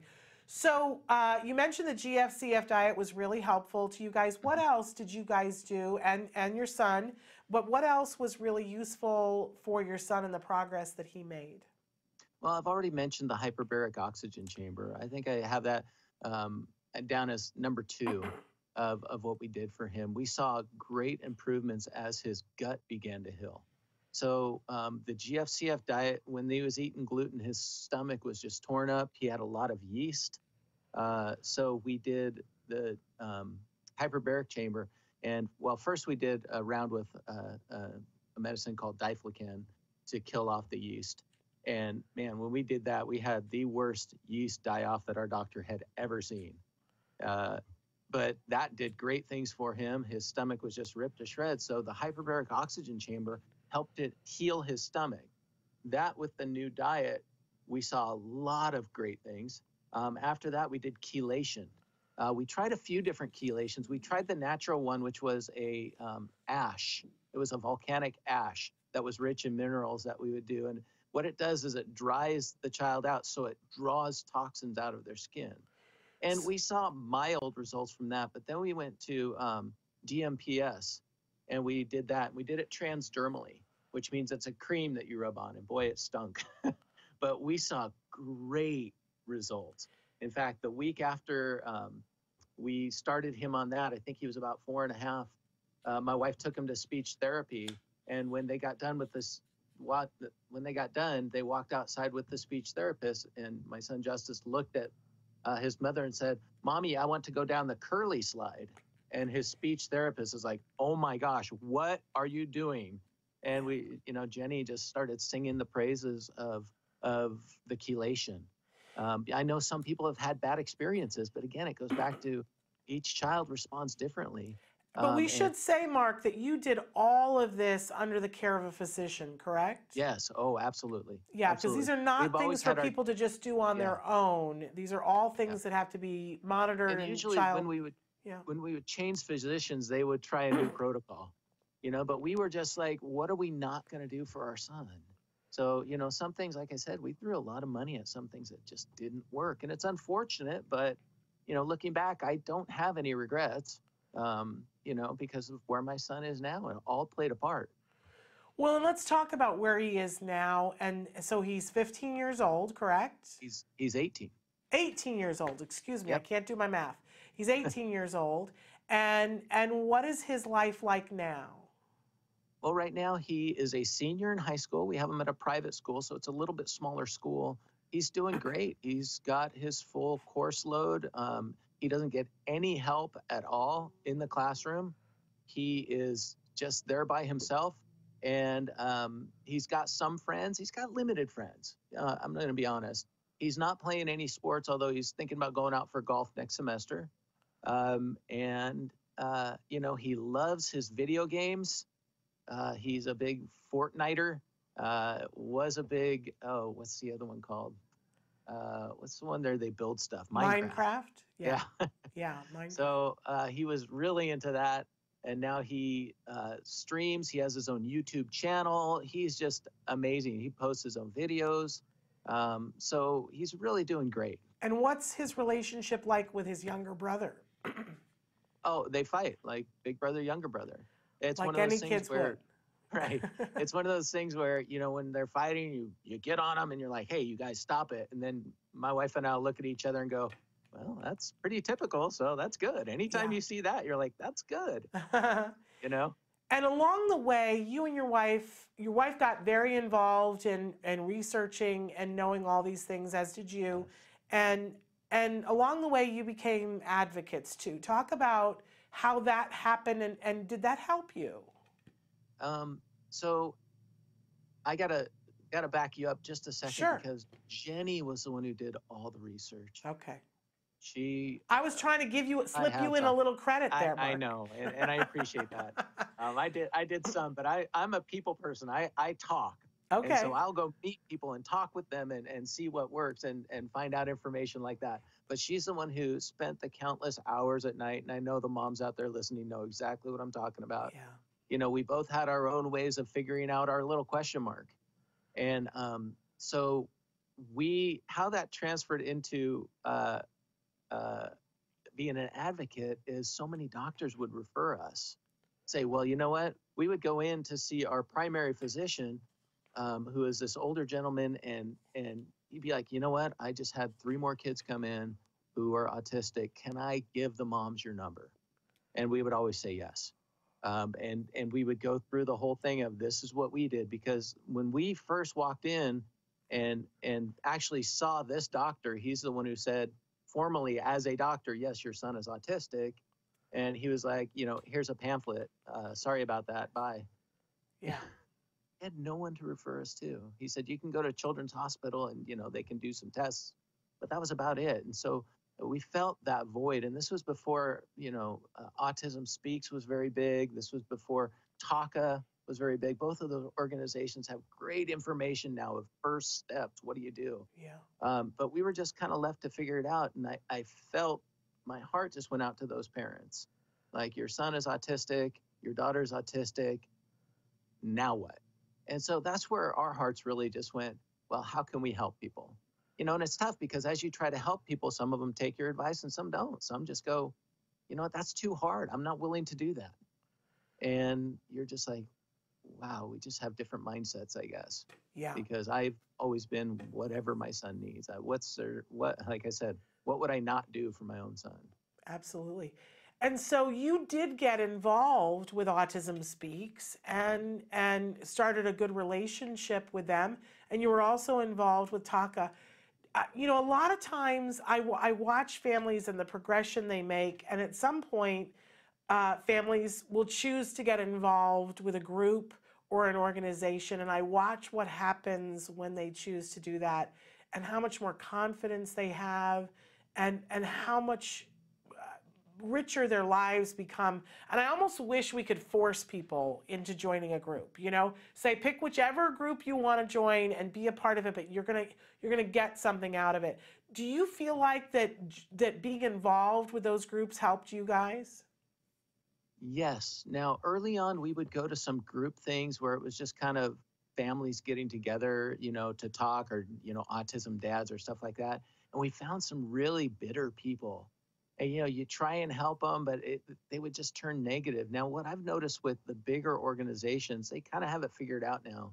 So we started helping out first with TACA um, just because we were working with a, a, physician or not a physician they were a caregiver um, when we started doing the Tomatis system and they referred us to TACA.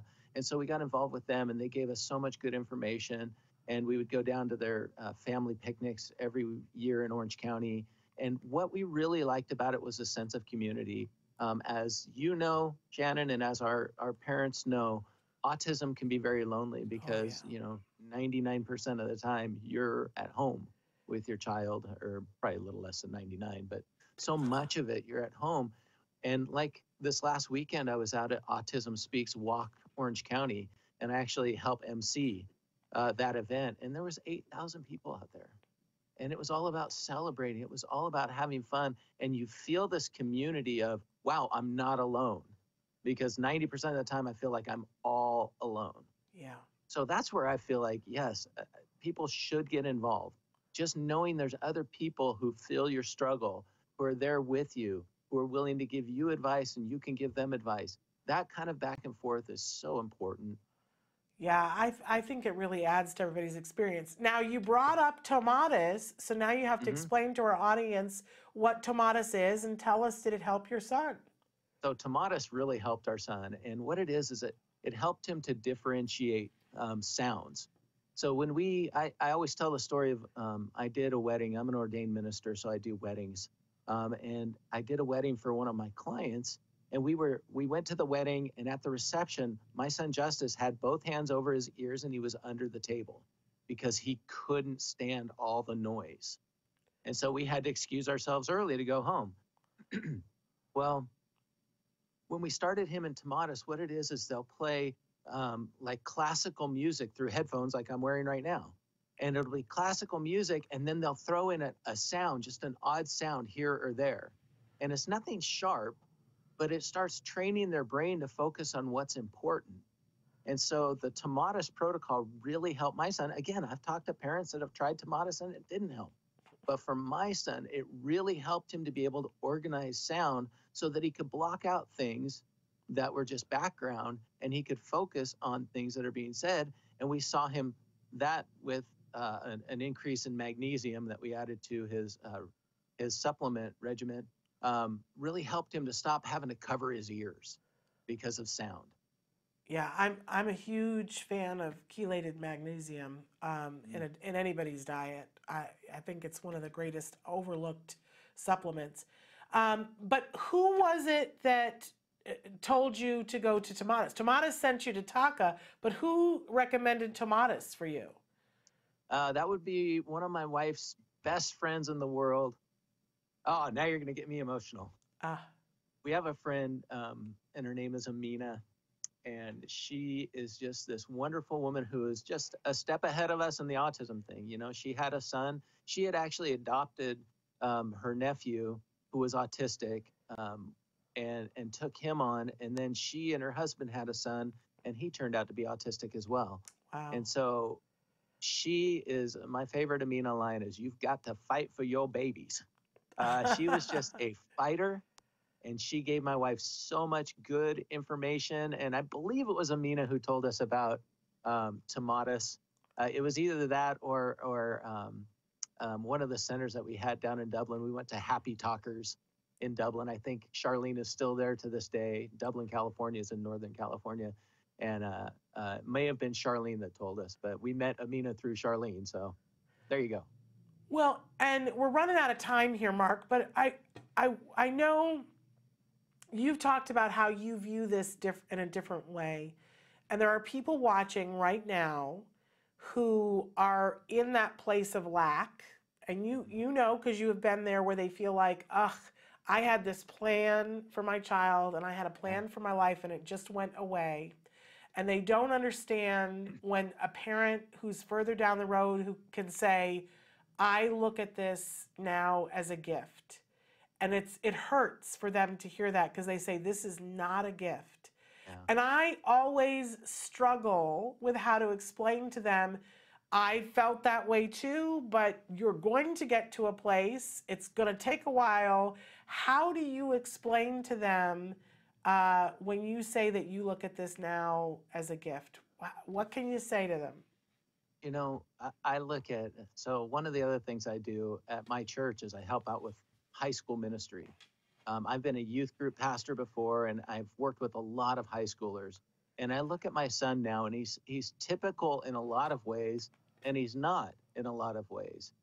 Uh, but some of the things that he's not typical in, I am so thankful that he's not typical in.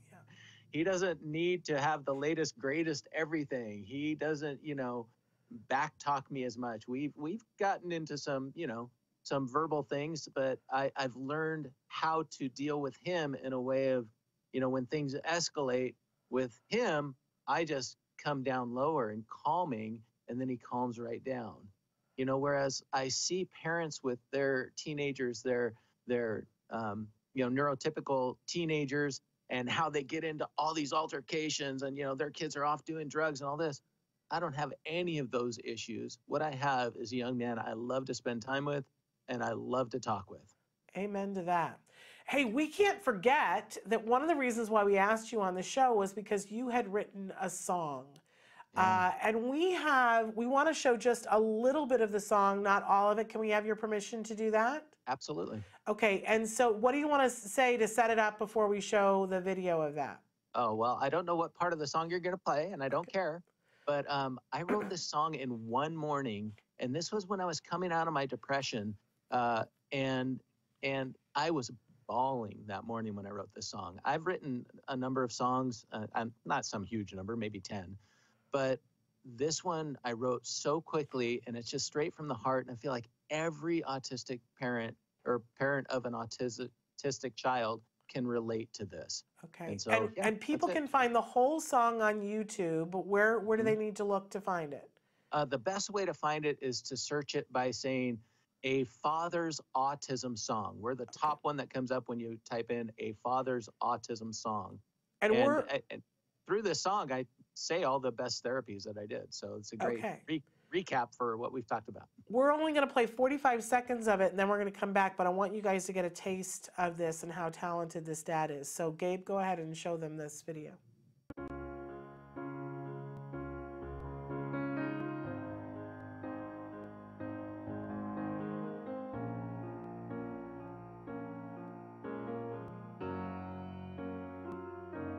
It seems like only yesterday we were living so carelessly.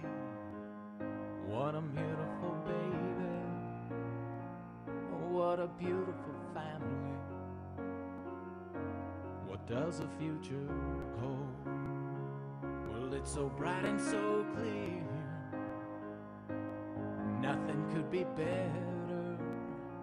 Oh, we've got nothing to fear. Baby, can you hear me? Why won't you look into my eyes? Tell me how you feel inside. Please don't run and hide.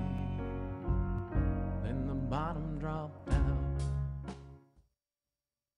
Well, we lost the sound, uh, but you can already see how emotional. We want you to go, and the point is, we want you to go and watch it on YouTube. Uh, we don't want we don't want the views from it here. We want you to give those views to Mark.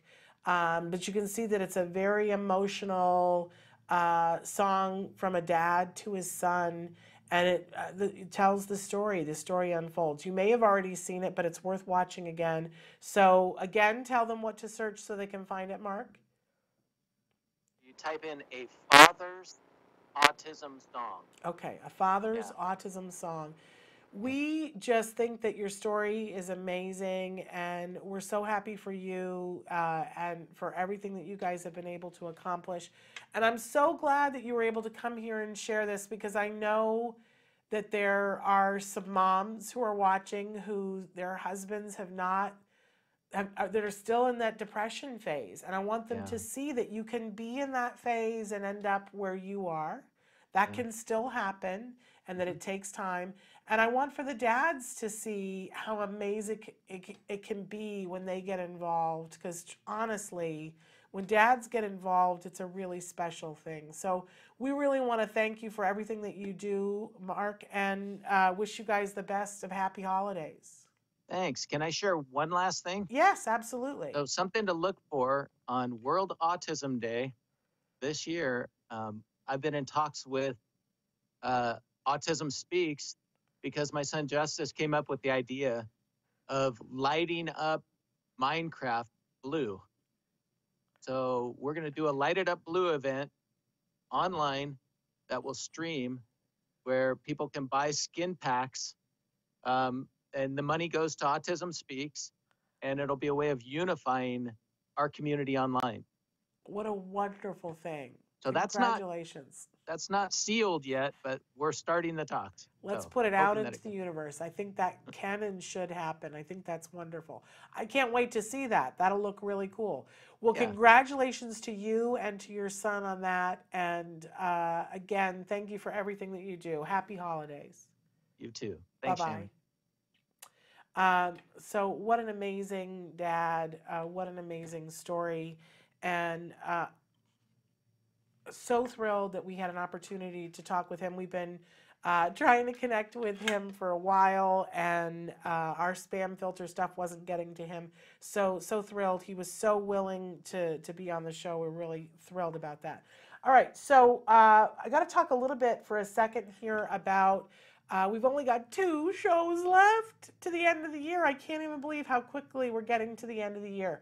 But um, there's a lot of stuff that we have to cover next week. And don't forget that Dr. Doreen Granpeesheh is back next Wednesday to answer your questions. I know so many of you have written in questions and you've been waiting patiently. She is back for one of the last two shows. So we're really excited about that. Plus, we've got a, a really wonderful cavalcade of fabulous people to end out our final week of the year. Uh, when we come back in the new year, there's, you're going to start to see some things that are going to change. We are going to be off on hiatus for a couple of weeks. Um, we're welcoming some new people to our staff. We are so saddened uh, to say goodbye to Samantha. We've had the fabulous Gabe filling in for us. Uh, and, uh, we, you know, we have loved Samantha so much, but we're wishing her the very best as she continues on a new journey. We are thanking all the people that have filled in um, as we said goodbye to Samantha. Gabe has been here doing the heavy lifting more often than not. And so we're going to say goodbye to him. We have a new person that we're going to introduce you guys to in the new year. And the schedule might change a little bit. I got to be honest, we're looking at some changes as we move forward with our new website. But all of it is to bring you more content on a more consistent basis in the places that you want to see it and to keep it free. Uh, we're trying to do that. I want to encourage you as as we've been making this transition with staff. We've been a little bit slow in posting things because we have been understaffed uh, for a while now. And so I, I I'm putting out a plea to anybody who's watching: share a video. Share a video on your Facebook site. We are this close to getting to our three millionth view on YouTube. Uh, we would really love to hit that before January 1st, but I need some help in order for us to get that. So please share a video. Pick one that you like. Heaven knows we've got thousands of them. Pick one that you like and share it on uh, your social media. Help us to get to that 3 millionth view. But we will be back next week with more to talk about. Don't forget, don't cancel therapy. Do it with a therapist, right? Happy holidays. And again, uh, we'll be back on Wednesday. Until then, uh, please give your kiddos a hug from me and one for you too. Bye bye for now.